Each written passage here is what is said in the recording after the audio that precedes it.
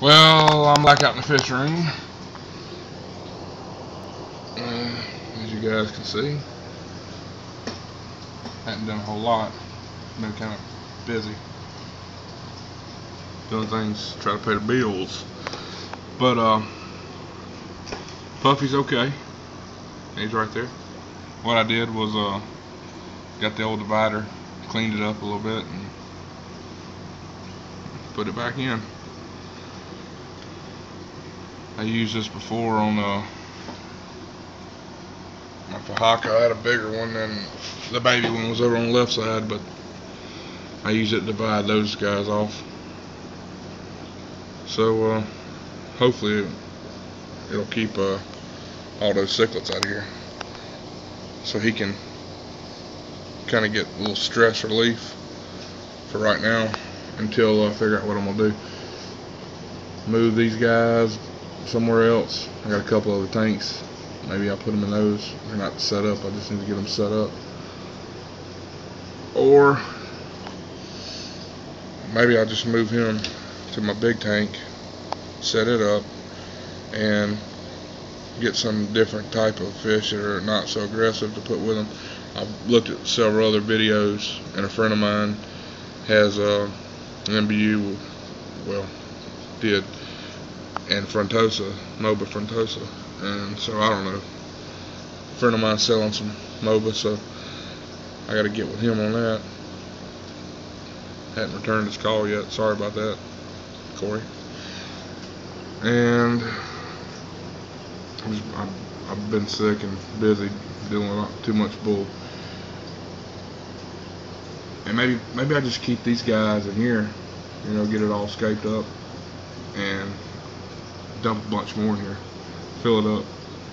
You know, they say fill it up to keep the aggression level down.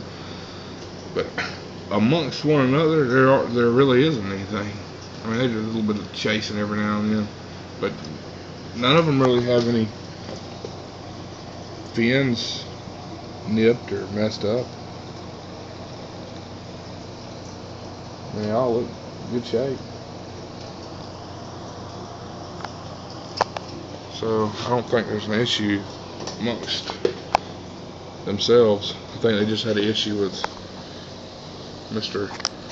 Lazy Mambua Puffy. I think that was the whole deal. But he's back on the bottom in this corner.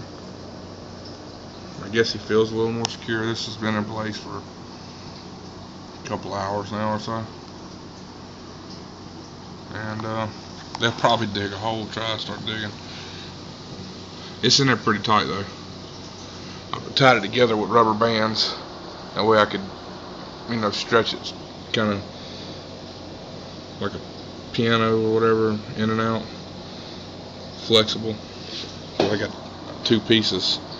Uh, it's a rig, but hey, it does a job.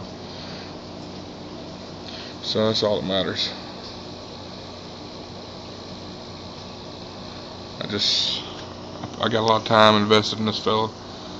I want to make sure he uh he does good.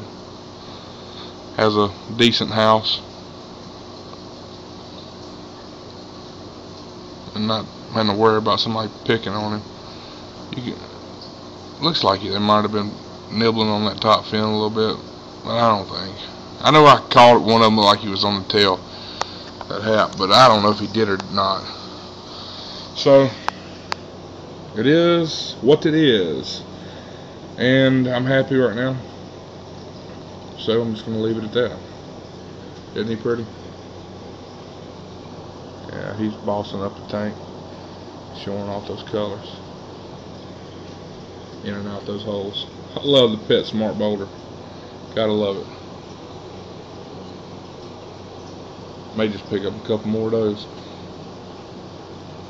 I don't know. Anyway, I wanted to update you guys with the uh, egg crate makeshift divider and let you know that Puffy's doing alright. Thanks a lot. Later.